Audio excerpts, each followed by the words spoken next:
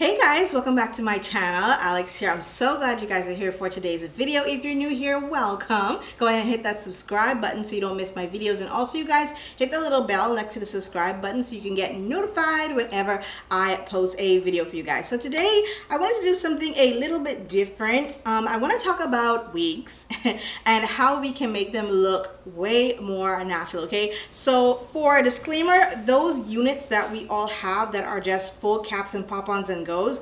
The only way to make those look more natural is if you actually shift them to how your face shape looks, if that makes sense. So if you've got a full unit that's like a bang or something, you can customize your bangs, cut them how you want to, shear them out or thin them out as you want to. That's the only way to deal with those full cap units, right? The ones that don't have any lace, just customize them to your face shape and you're good to go with those. But the next ones I wanna talk about are the lace front units and those frontals. Now for me, foundation is everything. So it's basically how you put together your hair under those units. So for me, I always have my hair uh, braided straight back. I have about one, two, three, I have about six or seven braids in my hair. So that's when I'm wearing just the lace fronts, okay? Not the full frontals, just the little sections that have lace in it. And then when I wear my frontals, I always have about four or five or six smaller braids going from one corner of my brow to the next. And then the sides I actually braid down and then go straight back, if that makes sense. So I try to have my sides as flat as possible whenever I'm wearing lace frontal units. Next up, I want to demonstrate how you can make your lace front units look way more natural. So I'm gonna go ahead and take this turban off. I also wanna add for your stocking cap, that's important too. So if you have a stocking cap that is your skin color, go ahead and wear that. Or if you're like me and you just wanna wear a black one, you can go ahead and do that as well. I have a stray hair somewhere.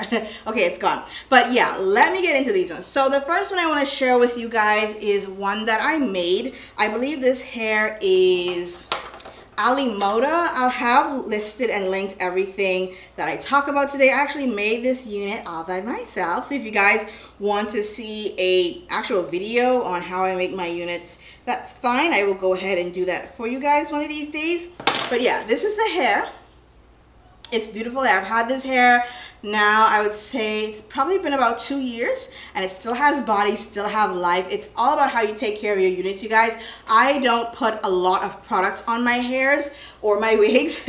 I basically let them be who they are add a little bit of nourishment in terms of deep conditioners and washing them I would say every time I wear them. So if I wear this unit this week I'll make sure to go ahead and wash and dry and condition this after I wear it. So for starters with this unit, I have this customized to my head in terms of how it fits. I did go ahead and put two combs right there because I didn't want to use the elastic band method. I have, I believe, one or two units with the elastic band methods, but I suffer from migraines. So I'm always afraid that the band might be too tight and then that might trigger a migraine. So do be careful with that if you have chronic migraines as well. So I'm gonna plop this baby on. I'm not to use the combs right away. I just want you guys to see how she sits. So first things first, always line up your the edge of your lace to your actual hairline, especially when you have wigs with that come with combs, like the ones you buy from the store. They come with combs. A lot of times you don't need to use the combs, and a lot of times those combs actually pull your hairline forward, so you end up with a unit that looks like this. We don't want that. So even if your unit comes with combs, don't use them right away. See how it sits first. Go ahead and put the combs in and see how it looks with the comb. If it's a, like forward or way off from your hairline, don't use them. You're fine. So I put combs in this one just to help me attach them, like I said, so I wouldn't have to use a elastic band for security. So that's how she sits and she's sitting pretty good. I'm really, really happy about that. There is my lace at the top, as you can see. So I wanted to zoom in a bit for you guys so you guys can really see how this looks. Okay, so here is the lace up top. Here is my hairline, and here is the line of demarcation for this unit. So this has baby hairs that I did go ahead and create. So what I like to do is comb down everything. And once everything is combed down, I can go ahead and make my scalp. Now you can go ahead and glue this down if you want to. You can always glue down your lace. If you don't like to glue down your lace, you can always use the got to be glued situation that everyone uses. Or you can go ahead and just take your edge control and just make your baby hair stay in place that way. but I always like to go in with a powder or you can go in with a foundation. Once you've figured out exactly where you want your part to lay, you can go in with your concealer, you can go in with your foundation, you can go with your powder foundation. I prefer a powder foundation that's actually my skin tone. I have used the L'Oreal Infallible Pro Matte Powder. I've also, and I'm still loving and using the MAC Studio Fix Powder. I am the shade NC47. So what I like to do is get a really dense brush, like one like this, or one that you can do your brows with. It has to be stiff enough to really get in there and pack in the color. I think that's one of the main things that I appreciate about using this way. So just find your part where you want it. If you need help, take your rat tail comb and move hairs that need to be removed to either side of your unit. So once you've got that done, go ahead and put your powder in.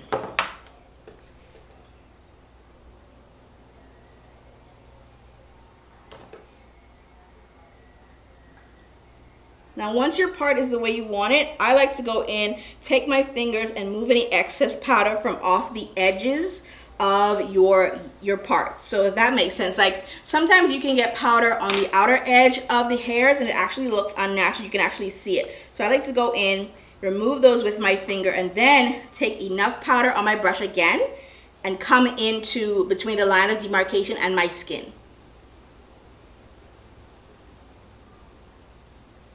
That way, nobody can tell except you where that line starts and where that line ends. And when it comes to making sure everything stays in place, you can also use the wig grips or you can use combs if you want to, like I said, and you can also use bobby pins, super duper old school. I still use them, so don't worry. But if you want to make sure the hair on top especially is laid after you've added your concealer, your foundation, or powder foundation, or your powder, anything like that, I love to use this right here. This is the Kenra. This is their wax stick.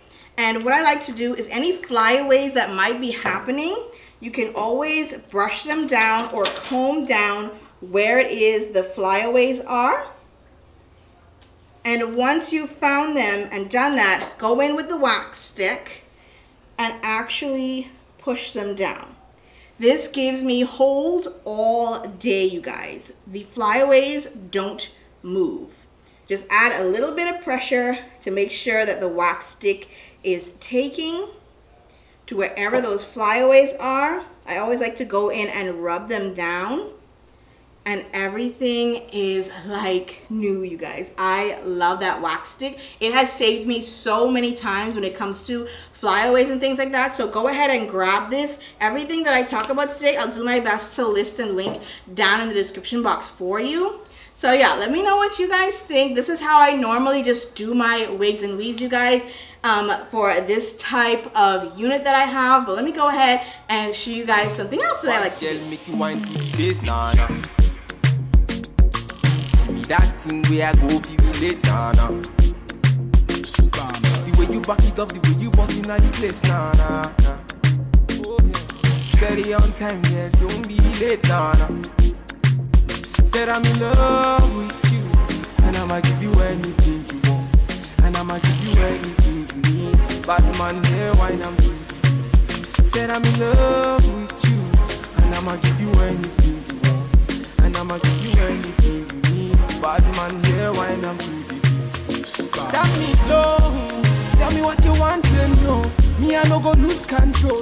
Bad man I feel your flow, wine I'm slow. This one no be private show. Tell me low, tell me what you want to know. I go give you all and more. Bad man I feel your flow wine I'm slow. This one no be private show. Your friends they tell you say I be nobody. Been searching all around, but I found nobody. Nobody, nobody. Call on me, call on me. I go give you all of me, all of me. Uh-huh. Baby, make you follow me, follow me. I go give you all of me, all of me. I'm auto, Sean say she moving to the baseline. The way she a wine make a man wanna praise the wine.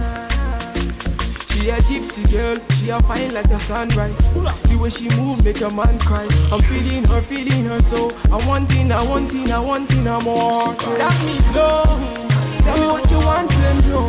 Me I no go lose control. Bad man I feel your flow. Wine I'm slow. This one no be private show. Tell me low, tell me what you want to know. Okay guys, so I'm gonna take this off. I've had it on for about 10 minutes and it's literally laid down this side. It could have been on for a little bit longer in my opinion, but I'm going to do the exact same thing that I did with the first unit before I figure out how I want this side to lay. So again, taking my stiff brush and my powder foundation, find the part that I created and put the foundation in to hide those little little, little, little black dots and also to make the part a little bit more realistic. Bring it over the line of demarcation to meet your scalp. Rub your fingers over where your foundation and the hair meet to the actual frontal or closure. And then I'm going to take this off and figure out how I want this side to lay. So I just wanted you guys to get an idea of how I fix these units to make them my own, especially when I have a unit that's already like pre-made. And like I said, I wanna make it to my actual face shape and size and different things like that. So that's how I do it. I'm just trying to fix, I love this unit by the way. Just trying to fix how this looks. Alrighty, okay. So do you guys like that? Do you see how I went ahead and made it mine? Now I'm going to do, like I said earlier, going to take my little stick right here, my little wax stick, over the little flyaways that are sticking out, that are annoying. We don't want them around. We get rid of them real quick. So that's how it looks on this side. It looks pretty natural to me. What do you guys think? So once I've laid her how I want her, I can go ahead and brush her to my liking. Now this unit didn't come like this. The actual, um, what do you call it? The little picture on the card is different. But like I said, always make these units yours and how you need them to look on you, if that makes sense. Everything that you buy needs to be customed to you and your face and your body and things like that. So make sure everything that you get is customized to you. So I just wanted a side bang today. And because this particular unit, I've already done a review on this unit, by the way. I'm gonna um, make a card of it. It's gonna pop up somewhere. this unit, I had a middle part and it was really pretty, but I was like, I wanna try something different because it claims to be like a frontal type of unit. So I was like, let me see how far I can go. And that part on the side there looks really, really good. I didn't wanna go too far back because it's my first time actually tailoring this unit to me and yeah i'm pretty happy about how it turned out. Let me know in the comment section what you think about what i did with this particular unit so i'm just gonna brush her a little bit more she's a beautiful unit by the way i'm gonna link her in the description box so you guys can go ahead and pick her up. But yeah, you guys, thank you so much for watching. Like I said, I just wanted to do something a little bit different today and show you guys how I go ahead and make my wigs look more realistic. So yeah, let me know in the comment section if you have any ideas or things that you do to make your units look realistic if you wear wigs. Let me know. All right, you guys, thank you so much for watching and subscribing if you have, and I will see you guys in my next video really, really soon. Bye, guys. Tell me what you want to know. Me, I no go lose control. Bad man, I feel your flow. Wine, I'm slow. This one will be private show. Tell me, blow. Tell me what you want